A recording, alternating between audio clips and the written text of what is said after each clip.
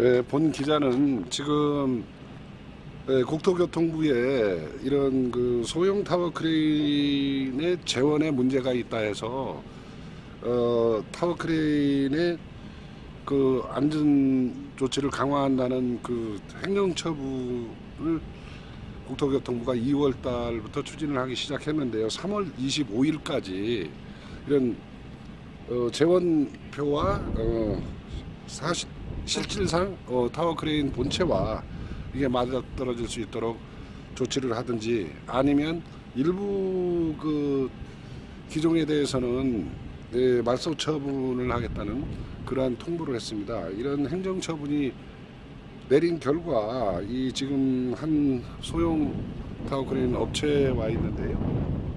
지금 이 화면에 많은 타워 크레인이 적재가 돼 있습니다.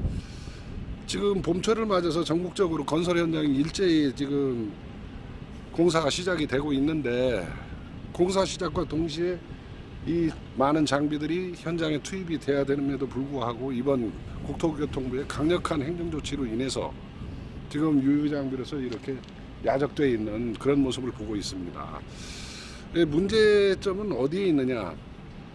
그동안 어, 불량 수입업자들이 불량한 제품을 가지고 들어와서 이것을 무분별하게 예, 보급 확산시킨 데 있지만은 결국은 최종 소비자인 사업자들이 그 올곧게 그 피해를 다 감수해야 된다는 그런 예, 우리 사업자들의 목소리가 나오고 있는데요. 예, 이것이 원인이 어디서 발생을 했느냐, 그리고 이 책임을 누가 져야 되느냐.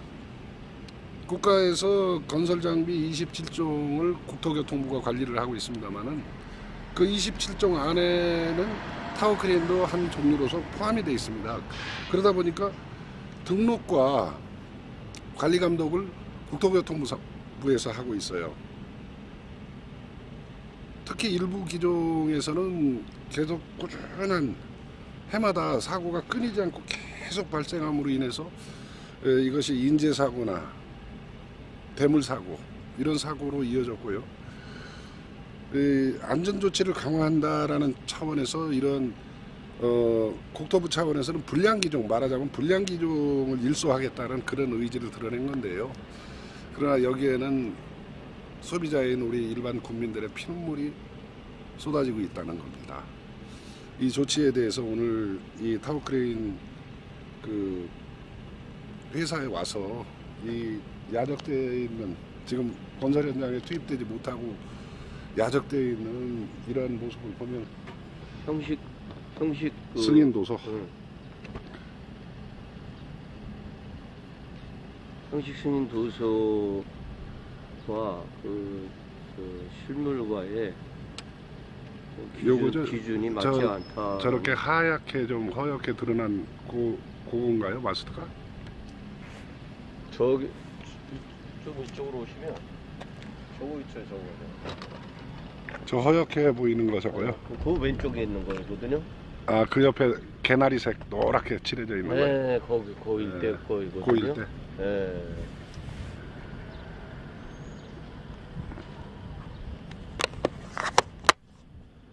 요게 맞는지 한번 봐주세요.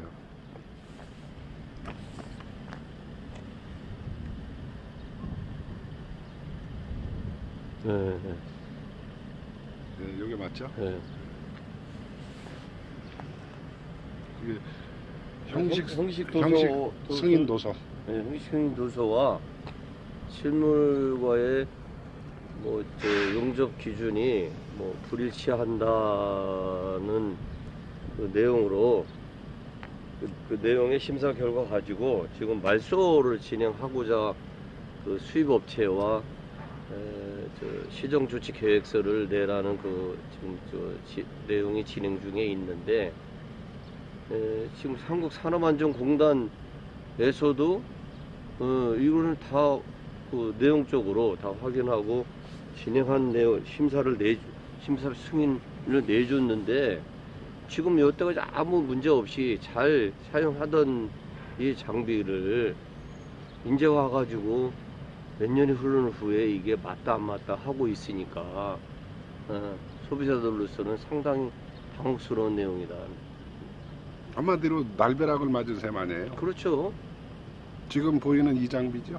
예, 예. 화면 당장 당장 이 장비들이 수입 수입가가 지금 저 1억 6천, 대당. 예, 대당 1억 6천짜리들인데 당장 이것이 예, 지금 전, 전부 다 그 나가지 못하고 주저앉으면 네. 재산상의 손실은 물론이려니와 임대 수익이 고갈됨으로써 파산 위기로 몰린다. 예, 이런 이런 요지 얘기들이 지금 우리 회사 같은 경우는 12대가 네. 이번 행정조치에 해당이 되는 예, 그런 상황 아니에요. 예, 예. 12대라 그러면 1억 6천씩만 곱해도 예. 이뭐 수십억 원 예, 예, 그- 피해 예, 예, 예. 있는 건데 한 20억, 20억 가까이 되죠. 예. 예. 20억이죠, 20억. 예. 참 그러니까 이제 그냥 바로 도산 위기로 몰리는 거죠. 참 답답한 현실입니다.